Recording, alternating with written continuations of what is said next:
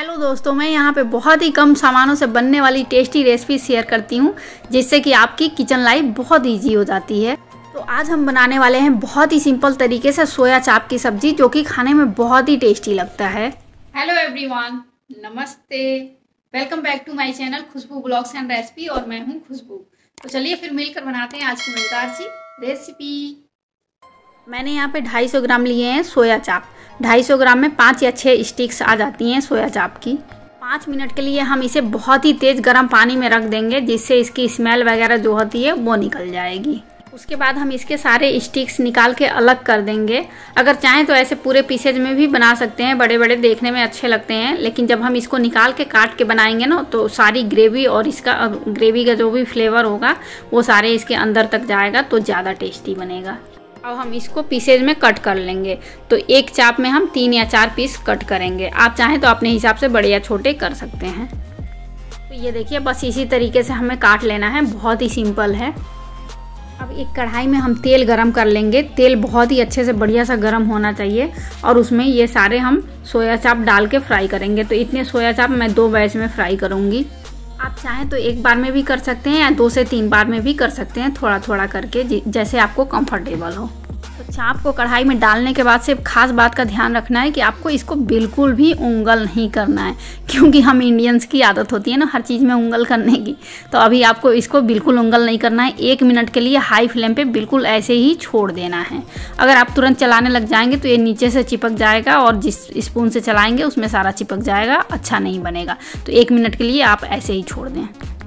अब हम इसको एक मिनट के बाद जब चलाएँगे तो ये कढ़ाई के तले से अपने आप ही छोड़ देगा और बहुत ही अच्छे से पलट जाएगा।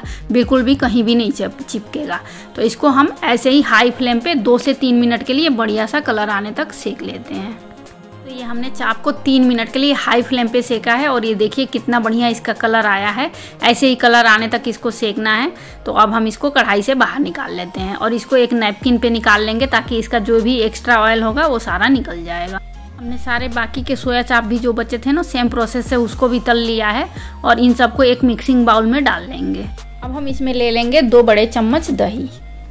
इसी के साथ ले लेंगे इसमें आधी छोटी चम्मच हल्दी पाउडर। एक चम्मच लेंगे कश्मीरी लाल मिर्च पाउडर।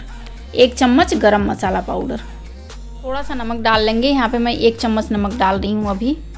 और अब इन सबको बहुत ही अच्छे से हाथों से मिक्स करते हुए मिला देंगे, ताकि सारे मसालों की एक अच्छी सी, हल्की सी लेयर आ जाए सोया चाप के ऊपर। और अब हम इसे मैरिनेट होने के लिए रख देंगे आधे घंटे के लिए। आधे घंटे में बहुत ही बढ़िया से मैरिनेट हो जाएगा। तो अभी हम इसको ढक देते हैं और छोड़ देते हैं आधे घंटे के लिए। इधर हमने जिस कढ़ाई में सोया चाप को फ्राई किया था ना, उसी कढ़ाई में से हम तेल निकाल देंगे और दो चम्मच तेल रखेंगे और उसमें हम डालेंगे ये तीन बड़े साइज़ के प्याज कटे हुए। तो इसको, प्याज को मैंने रफली काट लिया है। और प्याज के साथ ही हम इसमें डाल देंगे 10-12 कलियाँ लहसुन की साफ़ करके। इसके छिलके उतार लिए हैं मैंने। तो अब गैस की फ्लेम हाई रखेंगे और इसको दो मिनट के लिए ऐसे ही चलाते हुए भून लेंगे। अब ये दो मिनट में प्याज का कलर थोड़ा सा चेंज हो गया है। थोड़ा सा प्याज सॉफ्ट हो गया है। हमें बस इतना ही इसको भूनना है। बहुत ज़्यादा प्याज को नहीं भूनना है। और अब हम इसमें डालेंगे तीन बड़े साइज़ के कटे हुए टमाटर। टमाटर अगर आप कम डालना चाहें तो अपने हिसाब से मैनेज कर सकते हैं। अब हम प्याज के साथ टमाटर को डाल के भी दो मिनट के लिए भून लेंगे। गैस की फ्लेम मीडियम कर देंगे ताकि टमाटर जो है थोड़ा सा सॉफ्ट हो जाए। तो अभी दो मिनट हो गया है और आप देख सकते हैं कि टमाटर भी अच्छे से सॉफ्ट हो गया है। तो हमें इसी स्टेज तक भूनना है ताकि प्याज और टमाटर टमाटर जो है वो थोड़े से सॉफ्ट हो जाएँ। तो दो से तीन मिनट आप भूनेंगे ना, उतने में ही टमाटर भी अच्छे से सॉफ्ट हो जाएगा। तो अभी हम गैस की फ्लेम ऑफ़ करते हैं और इसको थोड़ा सा ठंडा होने के लिए छोड़ते हैं। ये टमाटर प्याज जैसे ही थोड़े से ठंडे हो जाएँगे, हम एक मिक्सी के जार में इसको डाल के और पीस लेंगे। ये देखिए, इस तरीके से इसका बढ़िया सा एक पेस्ट बना लेना है। अब हम फिर से उसी कढ़ाई में दो बड़े चम्मच तेल डालेंगे। यहाँ मैं वही कढ़ाई यूज़ कर रही हूँ, आप चाहें तो दूसरा बर्तन भी ले सकते हैं। और उसमें हम डालेंगे दो तेज पत्ता एक इंच दालचीनी का टुकड़ा। इसी के साथ हम ले लेंगे दो लौंग, एक छोटी इलायची और एक बड़ी इलायची। इन सबको डाल के और अच्छे से थोड़ी देर के लिए, तीस सेकेंड के लिए भून लेंगे। अब इसमें डालेंगे एक चम्मच जीरा। जीरा जैसे ही अच्छे से चटक जाएगा, गैस की फ्लेम एकदम लो कर देंगे। और इसमें हम डालेंगे आधी चम्मच हल्दी पाउडर। एक चम्मच धनिया पाउडर और एक चम्मच हम डालेंगे लाल मिर्च पाउडर। तो लाल मिर्च आप अपने हिसाब से डालिएगा, जितना भी तीखा खाते हैं। इसी के साथ हम डालेंगे एक चम्मच जीरा पाउडर। और इन सबको मिलाते हुए थोड़ी देर के लिए, कुछ ही सेकंड के लिए भूनेंगे तो आप देखेंगे कि हमारे मसाले बहुत ही अच्छे से भुन गए हैं, क्योंकि ये सिर्फ़ तेल में भून रहे हैं, अभी हमने पानी नहीं डाला है। और अब हम इसमें ऐड कर देंगे जो हमने भुने हुए प्याज, लहसुन और टमाटर का पेस्ट बना के रखा था। इसको डाल के तुरंत ही चलाते हुए दो मिनट के लिए बढ़िया सा भून लेंगे। गैस की फ्लेम मीडियम टू हाई कर देंगे। और बाकी का जो इसमें मसाला बचा है ना, वो भी सारा निकाल के चम्मच से ऐसे डाल देंगे। वो क्यों वेस्ट करना है ना? और अब इसे लगातार चलाते हुए दो से तीन मिनट के लिए भून लेते हैं हाई फ्लेम पे। तीन मिनट हो गए हैं मसाले भूनते हुए तो आप देख सकते हैं मसाले अच्छे से भून गए हैं। तो अब हम इसमें डालेंगे अपना मैरिनेट किया हुआ सोया चाप, जो कि हमने आधे घंटे के लिए मैरिनेट करके रखा था। और अब इसको भी मिक्स करते हुए मसालों के साथ दो मिनट के लिए मीडियम फ्लेम पे भून लेंगे ताकि सारे मसालों का फ्लेवर चाप के अंदर आ जाए। वैसे भी चाप के अंदर फ्लेवर तो बहुत बढ़िया आया है क्योंकि हमने उसको दही और मसालों में मैरिनेट करके रखा है। तो अभी मसालों के साथ चाप को मैंने भून लिया है और अब हम इसमें ऐड करेंगे पानी। तो यहाँ पे मैं एक गिलास पानी डाल रही हूँ। आप ग्रेवी अपने हिसाब से देख लीजिए, जितना भी ज़्यादा या कम रखना है या पतला गाढ़ा जैसे भी आपको रखना है, उस हिसाब से आप डालिएगा। मैं यहाँ पे एक गिलास पानी ऐड कर रही हूँ। और इसे अच्छे से चलाते हुए एक बार को मिक्स कर देंगे। और अब हम इसमें डालेंगे कसूरी मेथी। तो यहाँ पे मैं एक से डेढ़ चम्मच कसूरी मेथी इसमें ऐड करूँगी।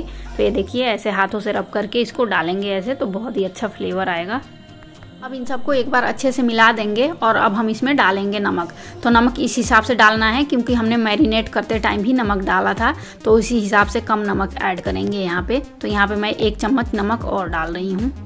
मिला देंगे इसे अच्छे से और गैस की फ्लेम लो कर देंगे और इसको ढक के अब हम 15 मिनट के लिए छोड़ देंगे ताकि ये धीमी धीमी आँच पे अच्छे से पक जाए।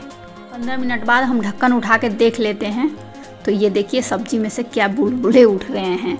तो अब हम इसको एक बार चला देंगे और हमारी सब्ज़ी बन के बिल्कुल रेडी है। क्योंकि सोया चाप भी बहुत ही अच्छे से गल गया है। हमारी सब्ज़ी बन के बिल्कुल तैयार है। तो अब हम गैस की फ्लेम ऑफ़ करते हैं और आप चाहें तो इसको ढक के पाँच मिनट के लिए छोड़ दें, जिससे और ज़्यादा इसका फ्लेवर इन्हेंस हो जाएगा या फिर तुरंत भी खा सकते हैं। तो हम इसको सर्व कर लेते हैं एक बाउल में। आप इसे रोटी पूरी पराठा या चावल के साथ खाएँ। आपको ये सब्ज़ी बहुत ही पसंद आएगी तो चाप की सब्ज़ी बनाने में बहुत टाइम लगता है और बहुत मेहनत लगती है लेकिन आज मैंने बहुत ही सिंपल तरीके से बताया है घर में अवेलेबल मसालों के साथ। तो अगर आप जब भी बनाएँ मुझे कमेंट करके ज़रूर बताएँ कि आपकी चाप की सब्ज़ी कैसी बनी। मुझे आप लोगों के प्यारे प्यारे कमेंट्स का इंतज़ार रहता है तो कमेंट्स करके ज़रूर बताएँ कि आज की ये रेसिपी आपको कैसी लगी। और अगर ये रेसिपी पसंद आई हो तो वीडियो को लाइक ज़रूर कीजिएगा। लाइक करने में बिल्कुल भी कंजूसी ना करें। अगर मेरे चैनल पर न्यू हैं तो नीचे रेड वाले बटन पर प्रेस करके सब्सक्राइब करके आप भी मेरी यूट्यूब फैमिली का हिस्सा बनिए जल्दी मिलते हैं आपसे एक ऐसी नई मज़ेदार रेसिपी के साथ, तब तक के लिए बाय बाय टेक केयर।